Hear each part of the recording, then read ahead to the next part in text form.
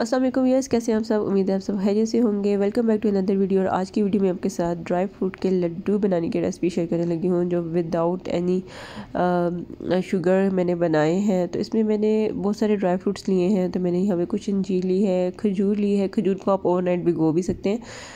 मैंने इसमें काजू लिए अखरोट लिए हैं, चार मगज़ लिए हैं और इसके अलावा मैंने लिए हैं पम्पकिन सीड्स किशमिश लिए हैं, बादाम लिए हैं। आप सब ड्राई इंग्रेडिएंट्स को या मतलब सब जो ड्राई फ्रूट्स हैं इनको रोस्ट भी कर सकते हैं, लेकिन मैंने इनको ड्राई रोस्ट नहीं किया है। मैं इनका एज इट इज़ यूज़ करूँगी। यहाँ पे खजूर जो थी ना, इसको मैंने थोड़े टाइम के लिए भिगो दिया था। अब आपने इसको थोड़ी देर के लिए पकाना है तो ये बहुत अच्छे से नरम हो जाएगी। तो अगर आपको लगे तो आप इसमें पानी थोड़ा सा और ऐड कर सकते हैं, ताकि ये अच्छे से नरम हो जाए। तो आप यहाँ पे देख सकते हैं कि ये अच्छे से नरम हो चुकी है।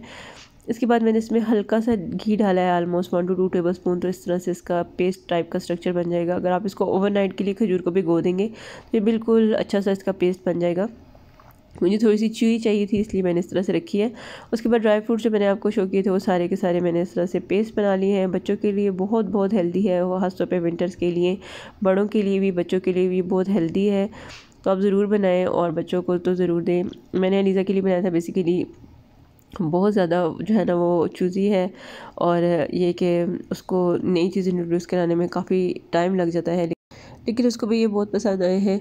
ये जंक फ़ूड से बहुत अच्छे हैं जो आप बाज़ार के चीज़ें बच्चों को देते हैं। उसके नस्बत अगर आप ये दें तो ये बहुत हेल्दी है बच्चों के लिए। तो बच्चों के लिए बहुत अच्छा है। आप इसको एज अ स्नैक भी बच्चों को दे सकते हैं। यहाँ पे जो खजूर वाला मिक्सचर था, वो सारा मैंने ऐड कर दिया है, जो ड्राई फ्रूट्स थे उसके अंदर। तो आपने इसके बाद अच्छे से इसको थोड़ा सा मिक्स कर लेना है।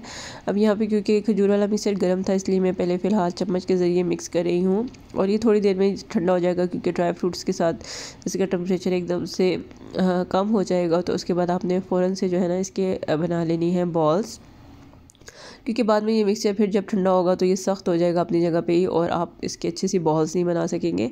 तो मैंने इस तरह से बस इसको मिक्स किया है। अब ये हल्का सा नीम गर्म ही था तो मैंने इसको हाथों से मसलना शुरू किया है और ये देखिए खुद ब खुद बाइंडिंग इसकी हो रही है। मैंने बाइंडिंग के लिए इसमें कोई चीज़ नहीं डाली है और इतनी अच्छी इसकी बाइंडिंग होती है, आप यकीन करें कि कभी भी नहीं टूटेंगे। और इसमें मैंने कोई एक्स्ट्रा चीज़ नहीं डाली है, कोई एक्स्ट्रा शुगर्स वगैरह नहीं डाले अब यहाँ पे देखिए इस तरह से इसकी बाइंडिंग अच्छे से हो चुकी थी, मैंने अच्छे से इसको मिक्स कर लिया, उसके बाद मैंने इस तरह से बॉल्स बनानी शुरू की हैं और ये देखिए इस तरह से आपकी बॉल्स रेडी हो जाएँगी। आप बाइट साइज़ के अकॉर्डिंग या जितनी आपको पसंद हो, छोटी बड़ी बॉल्स आप बना सकते हैं। और कोई भी शेप आप इसको क्यूब्स की फॉर्म में भी करते हैं, अगर आप इसको फ्रिज में रख दें तो ये आपका ज़्यादा टाइम चल जाएगा। वैसे आप इसको काउंटर टॉप पे भी रख सकते हैं, क्योंकि सर्दी है तो इतने जल्दी ये ख़राब नहीं होगी। तो बहुत अच्छे से ये ड्राई फ्रूट्स यहाँ पे रेडी हो चुके हैं और आप देख सकते हैं। और ये बिल्कुल भी नहीं टूटेंगे आपके, बहुत अच्छे से इनकी बाइंडिंग हो चुकी है। तो बहुत इजी सी ये रेसिपी है, बहुत हेल्दी रेसिपी है, ज़रूर बनाएँ, बच्चों को भी दें और ज़रूर ट्राई करें सर्दियों में। उम्मीद है आपको रेसिपी पसंद आई होगी। Thank you so much for watching